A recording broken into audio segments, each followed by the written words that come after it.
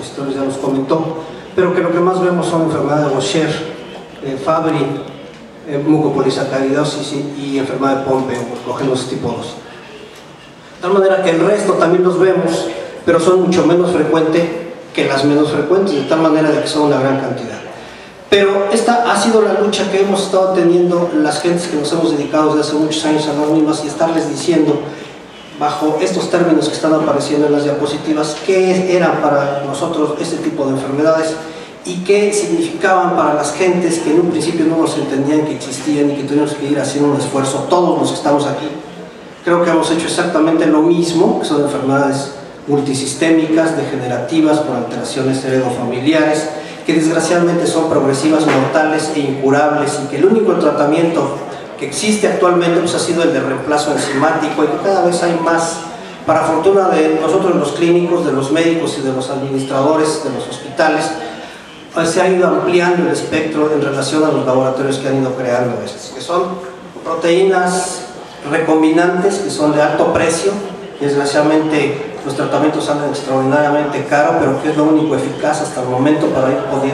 poder paliar la situación en relación a estas. Que se les consideró enfermedades o se les considera medicamentos y enfermedades huérfanas porque se les llama, entre comillas, productos especiales. Sin embargo, esto hace que los eh, individuos que padezcan la enfermedad y que requieren tratamiento vuelvan otra vez a estar dentro de la sociedad, tanto de la familia como de la sociedad ampliada, y los hospitales no tengan el gasto que se tiene por dejar este tipo de problemas a la ligera y sin un tratamiento adecuado. Pero lentamente, y ya lo constatamos y lo estamos viendo precisamente en ese tipo de foros, que lentamente se ha ido legislando de tal manera de que en muchos países del mundo pues esto ya prácticamente ha pasado a un segundo término en relación al tratamiento de las mismas. Pero en un principio eh, teníamos que estarles explicando a los pagadores de los servicios que solamente en Estados Unidos de Norteamérica, en el Reino Unido, en Canadá, Australia y en algunos otros países del primer mundo, se tenían las evaluaciones para poder manejar desde el punto de vista social a estas enfermedades. Pero lentamente, lo que en un principio todos los que llevamos salud pública, los que hicimos algunos cursos de administración de hospitales, tuvimos la, fortuna de manejar la farmacoeconomía, pero que en estos casos no queda perfectamente comprendida porque, desgraciadamente, por el término que se le ha utilizado y por la baja incidencia y prevalencia de la enfermedad, pues han ido quedando, desgraciadamente, apartadas de esos catálogos de las patologías que habitualmente se ven en los hospitales. Sin embargo, bueno, el devenir de los años ha hecho que se tenga mayor tecnología al respecto y que los nuevos lanzamientos de medicamentos ha hecho también que estemos pensando cómo pagar este tipo de enfermedades, o sea, el reembolso, lo que llamamos en México el reembolso del pago de las enfermedades, cómo debía ser y bajo qué criterios debería ser. Entonces esto es, era importante porque siempre les hemos dicho que separadas, ya lo dijo alguien por ahí, alguno de los oradores los primeros días, son muy pocas, pero ya todas juntas abarcan más de 8.000 enfermedades tal cual lo hemos estado constatando. Esto ya está perfectamente definido en algunos lugares y han asumido todas estas naciones su papel preponderante desde el punto de vista ético-moral para el tratamiento de las enfermedades. Sin embargo, muchas veces para nosotros todavía, países que estamos en vías de desarrollo por tener un nombre a pesar de los terremotos, a pesar de las devaluaciones y a pesar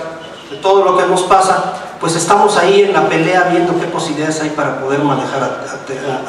y atendiendo este tipo de, sin embargo, no podemos hablar de farmacoeconomía cual tal nos enseñaron en la escuela, sino que tenemos que dar ahora o llevar los tomadores de las decisiones para que podamos nosotros los países latinoamericanos tener un recurso desde el punto de vista estadístico, desde el punto de vista objetivo, de qué es lo que está pasando con los pacientes, para que ellos se convenzan y nosotros tengamos la capacidad de convencimiento para que puedan ser aceptadas estas enfermedades. De hecho, así es como lo estamos haciendo. Y bueno, esto es muy importante porque esto nos da amplios recursos tanto de eficacia como de seguridad en los tratamientos y esto es algo muy importante que debemos que deben de tener en mente los que están pagando las enfermedades y desde luego imbuirles el aspecto ético, el aspecto de vida de los pacientes que aunque sean muy pocos, los pacientes sufren, las familias sufren y por desgracia los sistemas de salud también sufren. Entonces tuvimos que hacer mil argumentaciones, todos los que estamos aquí y en especial algunos de los que estamos aquí, tanto los luchadores sociales, como ya vimos de Perú, de México, de algunos otros lados del mundo, como nosotros los clínicos, los investigadores, para que estas drogas, estas enfermedades y estas drogas puedan entrar desde el punto de vista de enfermedades que se pagan por bajo impacto presupuestal y que esta es la única manera de convencimiento para que lo podamos hacer nosotros. Sin embargo, en algunos lugares no se está haciendo así, entonces hay discriminación al respecto y esto ha tenido eh, aspectos sociales muy importantes. ¿Qué está sucediendo entonces con esto? Bueno, pues que desgraciadamente eh, lentamente se ha ido metiendo, afortunadamente en algunos países ya prácticamente completos, como los hemos visto en primer mundo. Nosotros hemos estado paliando algunas situaciones para poderlos meter y de esta manera tener a los pacientes, porque si se siguen deteriorando y siguen yendo a los hospitales, pues van a dar al traste con lo poco o mucho de los recursos que podamos tener en relación a esto. Entonces, creo que es muy importante lo que les hemos dicho eh, finalísticamente cuando hemos ido al Senado de la República, en el caso de los mexicanos, con los diputados, eh, tanto locales como federales, y que el principio de universalización desde el punto de vista humanístico es que todos los hombres en cuanto a sujetos son iguales y de esta manera poder manejar ese término y creo que eso ha ido convenciendo lentamente a través de las reglas del rescate es algo muy importante también y que esta es una necesidad o una obligación imperiosa para preservar la vida y evitar el sufrimiento de otra persona siempre que sea posible. Ha creado de tal manera el sexenio pasado, nosotros tenemos regímenes presidenciales por sexenio, y este nuevo que estamos corriendo, y lo han entendido de una manera que me parece muy justa, eh, con las limitantes en algunas ocasiones de los casos, pero creo que hemos tenido eh, eh, algo muy importante, de tal manera de que se ha ido lentamente desgranando hacia todos los o prácticamente hacia todos los actores, tanto desde el punto de vista administrativo, médico, de investigación, para poder llevar a cabo esto, de tal manera de que se crearon algunos otros sistemas como los que estamos viendo aquí. Este es el sistema mexicano, didácticamente, desde luego tiene muchísimos vericuetos que no vamos a, a mencionar en este momento, pero que está dividido el sistema mexicano por secretarías y en el caso de la Secretaría de Salubridad se divide en dos grandes aspectos, uno que es el aspecto federal y otro que es el aspecto estatal.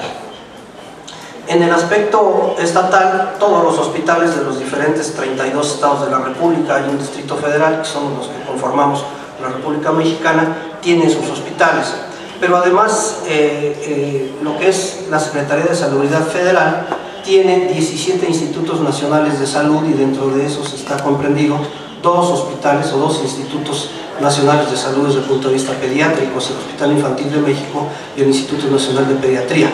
más todos los demás que ustedes seguramente conocen por ahí. Pero además hay una gran cantidad de hospitales de alta especialidad, actualmente tenemos 15.000 hospitales de alta especialidad distribuidos en toda la República Mexicana, están comprendidos en las siglas que son Instituto Mexicano del Seguro Social, lo que se llama Instituto eh, de Desarrollo Social para los eh, servidores del Estado, lo que son los hospitales de Pemex, de, de los petroleros, y lo que son de las Fuerzas Armadas. Estos son federales, directamente los maneja el Estado y el Estado paga todo para estos pacientes. El Instituto Mexicano del Seguro Social tiene patrones, eh, los, empleados y los patrones le pagan al Estado para que atiendan a sus empleados. El ISTE, directamente el gobierno federal, paga todo lo que sea referente a eh, pacientes que se encuentren dentro del gobierno federal trabajando y así sucesivamente Pemex, sus empleados y las Fuerzas Armadas, sus empleados. Y así siempre había funcionado y entonces como ustedes ven no hay una Secretaría de Salubridad homogénea, sino que son varios instituciones que manejan así en México y que se han manejado desde allá, desde los 40, 1946 que se creó el hospital, los institutos eh, mexicanos del Seguro Social, están distribuidos homogéneamente en toda la República, al igual que el este.